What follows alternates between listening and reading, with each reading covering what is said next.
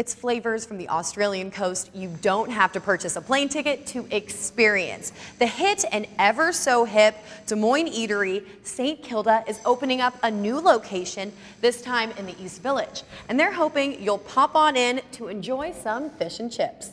There's a popular conception in America generally that fish and chips is this antiquated kind of greasy thing that it's like an English style. Chef Alex Hall says his new East Village restaurant is meant to feel worlds away from the wharf. I mean, wowzers, look at this place. He did a good job cleaning, huh? Though fresh seafood at Surf and Turf will most certainly be on the menu. I vowed to my wife I was just going to do one restaurant and I was just going to have just the one and I was going to enjoy working in it. But St Kilda really knocked it out of the park. The Australian expat can now eat his own words. It's been so well received by Des Moines that I kind of can't stop now. He's talking about St. Kilda off MLK Parkway in Des Moines.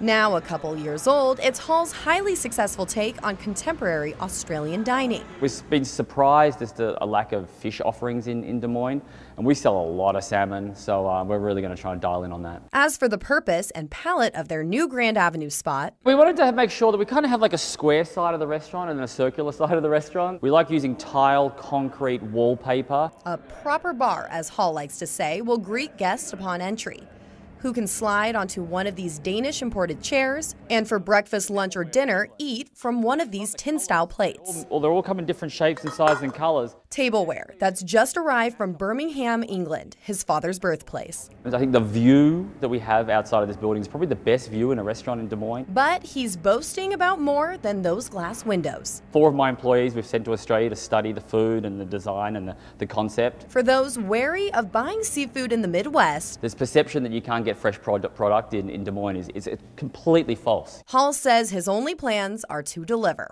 Reporting in Des Moines, Lauren Donovan, KCCI 8 News, Iowa's news leader.